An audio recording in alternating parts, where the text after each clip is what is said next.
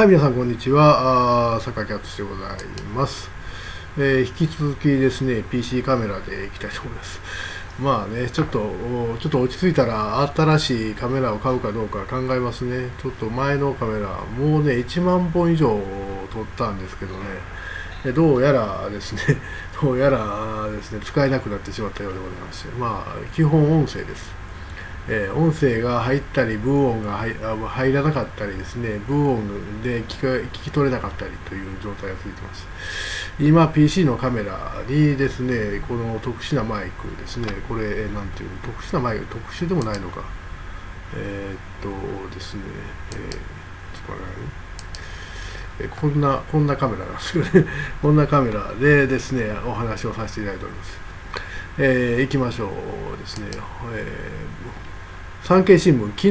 のですね、19時27分に出ている記事でございまして、仏フリゲート艦が、フリゲート艦ですね、京都舞鶴に寄港、北朝鮮の瀬取りを監視ということでですね、なんかフランスのね、海軍のですね、フリゲート艦がですね、京都の舞鶴港に入るということ自体が、ええー、と思ってしまいますけどね。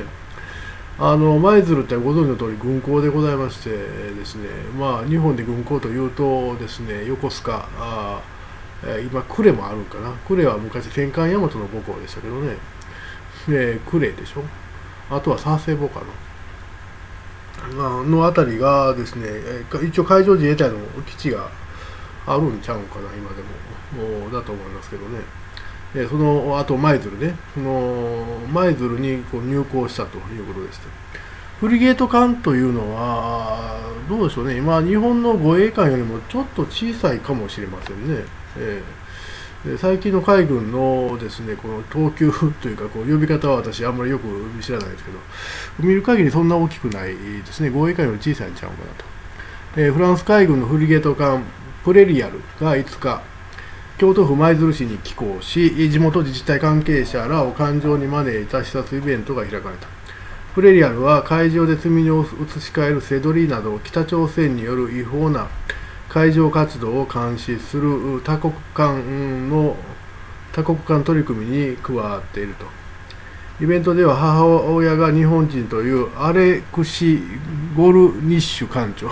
そんな人おんの？母親が日本人って。えー個人的に日本とつながりがあるので気候は嬉しく思うと挨拶した。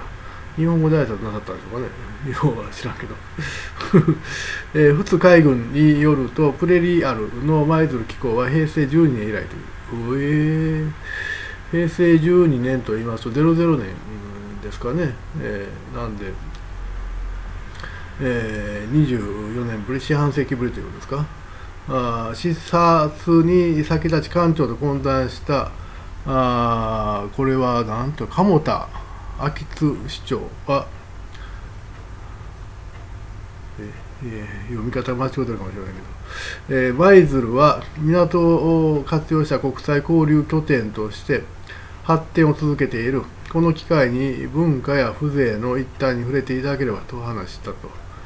えー、その後、鴨田市長や自衛隊幹部らは館内を見学。日仏で交流を重ねてきたフェンシング試合も披露されたと。えー、ということで、この記事は終わってます。あのね、えっと、背取りというのはですね、船から船へ荷物を移し替えることなんですね。で、えー、今、世界の船ってね、全部ね、こう GPS で管理されてるんですね。で北朝鮮は国連決議によってですね国際的な制裁下にあってですねあのいろいろですね北朝鮮にですねあの、えー、与えてはいけないあるいは買わせてはいけない物資がいっぱいあるわけですね。でほとんどの物資そうなんですけど人道的なもの以外はですね北朝鮮にですねこう輸出してはいけないわけですね。でだからその船が北朝鮮に入ると分かってしまうんで、えー、ですね、えー、海の上でですね荷物を積み替えてですね北朝鮮に入るということをやるんですけど、まあ、あの日本近海でですねやる場合が多いわけでしてそのために、えー、日本は海上自衛隊や海上保安庁が多分ですねそれを見張ってるんだと思うんですけど、まあ、そこに参加しに来たということですね。あのフランスという国はですね今でも一応ですね南太平洋にですね、えー、領地を持っています。あとはニューカレドニアとかってあの辺はフランス領なんですね。まあだから一応太平洋国家と言えなくはないわけでして、えー、なんでですねうんまあそれに俺らもおんねんでということをですねまあわざわざ示しに来たんでしょうね。あの何と言いますかこうヨーロッパ人の考えることってやっぱしこうサイズがでかいというか規模がでかいというかあのいつかまたですね東洋に返り咲こうぐらいのことを考えている可能性は十分にありますね。ヨーロッパの歴史見てるとね本当に国境手でもうしょっちゅう変わるわけなんですよ。で勢力圏も随分変わるわけなんですね。だから今フランスはですねインドシナを失って以来ですね東アジアに拠点というのはありませんけどもですねいつかまたがですね あのチャンスが巡ってくればですね東アジアにも自分たちの拠点を作ろうという考えがあるのかもしれませんね。あの日本はねあの間違ってもヨーロッパに拠点を持とうなんて思いませんよね。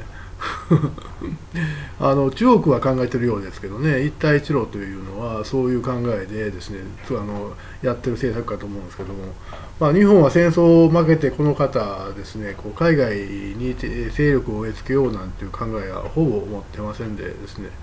あのまあおとなしく平和裏にやってきたという国ですけども。フランスは一応常任理事国なんでね。あのそういうこう遠慮というものは一切ないわけでして。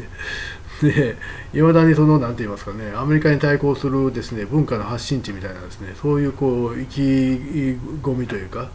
そういうプライドというのがある国でしてですね。でしかもですねあの軍事的プレゼンスもですね惜しみなくですね発揮してる国でして一応核保有国なんですね。でさっき言ったようにニューカレドニア辺りにフランス領の島がいっぱいあって昔 ICBM の実験はですねフランス本土からはですねそう撃ってあの辺の近海にですねあのあれですね原爆かなんかを爆破させたというようなもう50年ぐらい前そんなことやってましたよ。最近さすがにですねそんなことすると非難合々なんでやってませんけどもですね。まあそういうまあいやこわもてな一面もある国家なんですね。まあ、そういう国の軍艦がですね四半世紀ぶりにですねほぼ四半世紀ぶりに日本にやってきたと、え、舞鶴に寄港したということでですね、まあ、舞鶴というところがすごいですね、え、日本海向きですから横須賀に来たらなんかこうなんて言いますか、えー、まあやってきたという感じでちょっと東京で遊んで帰ろうみたいな、そんなあれなんですけど舞鶴なんか何もないとこですからねはっきり言うて。要はパトロールに来たという感じではないですかね。僕舞鶴って行ったことないですけど通ったことはあるような気がしますけど何もないですよ。ただの海軍の町ですよ、えー、まあ、よく来てくださったとは思います、はい、ということでこのですね産経新聞のですね、えー、アドレスをですね一応貼っておきます。はい皆さんどうもありがとうございました